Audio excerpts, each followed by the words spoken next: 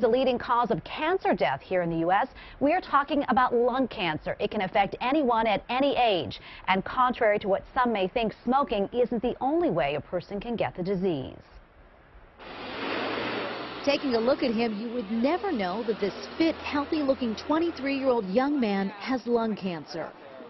It was probably the scariest moment of my life when they told me I had stage 4 cancer.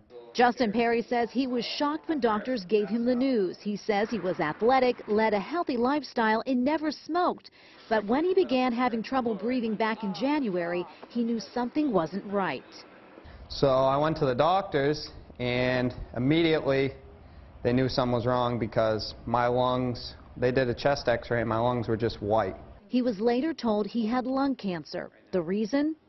They found out that I actually had an ALK mutation, which only accounts for about 3% of cancer patients. ALK mutation is a gene in the body that actually turns on its side. Everyone has the ALK gene, but if it turns on its side, that's when it starts rapidly producing cancer cells. I wish everybody would stop smoking. Deb Violette is another person who knows all too well about lung cancer. She was diagnosed more than a decade ago.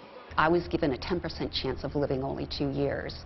And thankfully, I've been able to survive 15 years. Violette says her doctors still aren't sure how she got the disease. It could have been the air I was breathing, it could have been the radon in my home, it could have been secondhand smoke, or the years that I had smoked uh, prior to being diagnosed with lung cancer. No matter the reason, Violette says lung cancer changed her life, so she wanted to give back and started the nonprofit Free Me from Lung Cancer.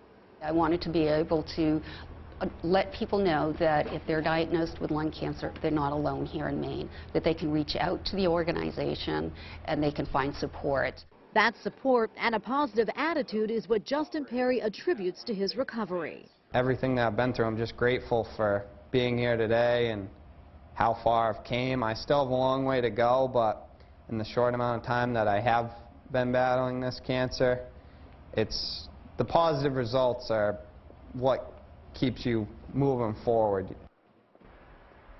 And in honor of Lung Cancer Awareness Month, Free Me from Lung Cancer is holding a number of walks throughout the state of Maine, which WMTW News 8 is a proud sponsor of. The first Save Your Breath walk is tomorrow at the Buker School in Augusta.